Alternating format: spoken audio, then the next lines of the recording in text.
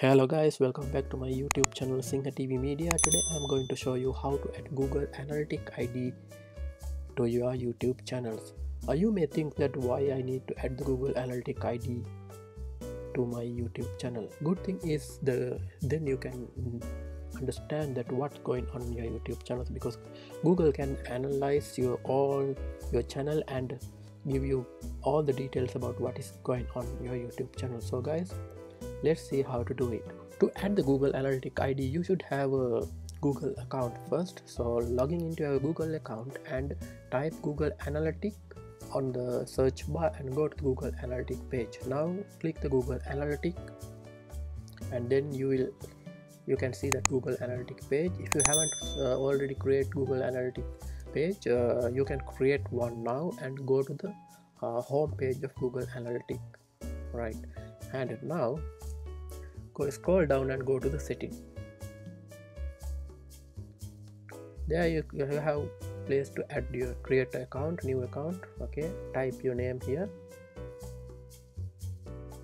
And now these three uh, tabs is optional. If you want to uh, click that you can read that all the things uh, but they have recommend that it is better if you can tick that. So tick that all the boxes and click the next button. Right now if you're going to add the google analytic id to youtube channel click that web and scroll down click the next button.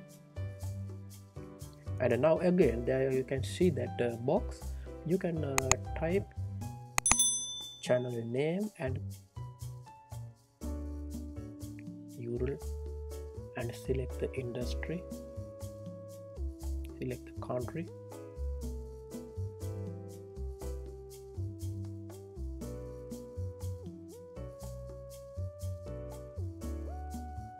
and then now you have to select uh, click create.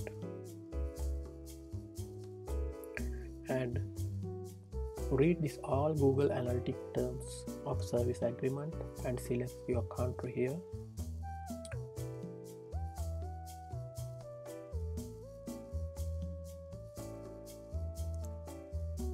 after reading all the google service agreements click this two box and click accept button.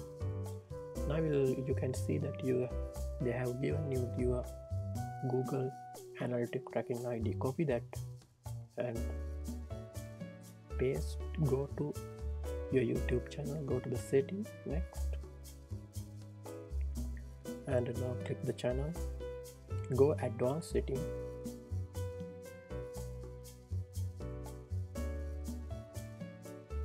scroll down. Now you can see that empty box. Paste that google analytic id there and click save button.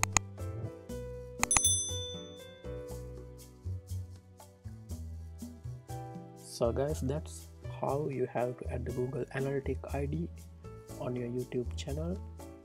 I think you enjoy with this video so don't forget to subscribe my youtube channel and also ring that bell to get the, all the notification about our future videos. So see you in the next video. Bye bye